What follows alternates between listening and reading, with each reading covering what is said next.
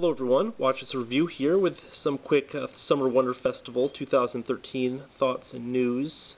Very quick in fact, considering there wasn't a ton that, you know, so much interested me. Uh, the biggest news, of course, I'm sure you, most of you have heard this, uh, is that Indiana Jones will be getting a Figma. Uh, it's sort of unexpected. Uh, at this point we're not sure what version of Indiana Jones will be produced in Figma form. I mean, it might be one of the ones from the classic films. It might be the one where he hides in the fridge to avoid a nuclear blast. I mean, who knows? I mean, frankly, I think I would prefer a older version. Also, in general, I think I might have preferred an SH Figuarts of him. You know, because I think that SH Figuarts is doing it a bit better in terms of articulation and so forth, which is strange because for a good many years I was really into the Figma line, and then, you know, the SH Figuarts line sort of been supplanting those feelings, but yet. Uh, pretty huge news. Um, other pretty epic news is that uh, threezero will be doing some Zoids figures. Uh, they had a painted prototype for the Shield Liger on display, as well as a unpainted Iron Kong. Uh, both of which, I know the Shield Liger is mostly from Chaotic Century. the Iron Kong I know appeared in both versions of the show, sort of a generic enemy in the main one. Then um, for Zoids. Uh, what was the one the tournament? Was that New Century or something? I can't remember.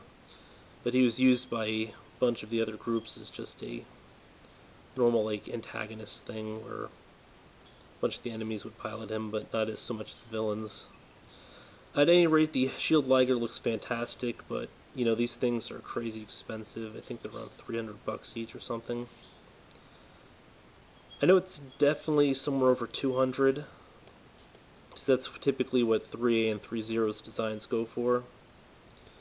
But um, both of them will sort of be in scale with each other in that the Iron Kong is almost twice the height of the Shield Liger, which is pretty neat. So I mean, if you wanted to buy a whole bunch and, I don't know, simulate a battle, if you had a few thousand dollars lying around, you know, that would kind of work. Not that I would necessarily encourage doing that because that's incredibly wasteful. Uh, otherwise, Figma Archer was on display again. I mean, they first showed him off in like 2010 or 2011, so I'm not sure if they are actually going to release him like ever, or if they just want to keep putting him out there to torture us. But yeah. Uh, in other news, I'm not sure like how many of you guys are following the Sailor Moon stuff. I already have like the first few on pre-order, but uh, at there they revealed that they'll be doing some Figuarts Zeros for the Sailor Moon figures. They also revealed a painted Rei, and they have the unpainted Sailor Venus. Let me try to pull one of those up.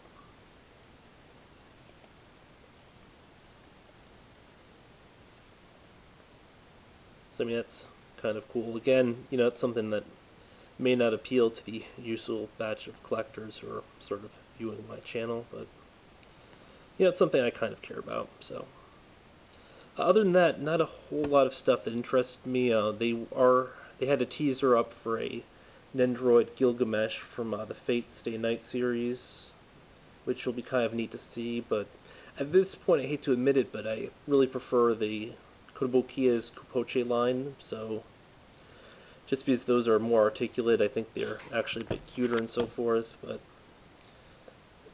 you know, whatever. And of course they had the uh, Figma Day of the Dead, sorry, Dawn of the Dead one out there. I think that's the zombie version of that uh, one pilot. I recently ended up going back and watching Dawn of the Dead again, so, you know. At any rate, those were some just really quick thoughts. Uh, not a whole lot of content for this video, but, you know, there are some sort of exciting things on the horizon that you know, weren't revealed at San Diego Comic-Con, so that's always cool. Uh, until next time, folks.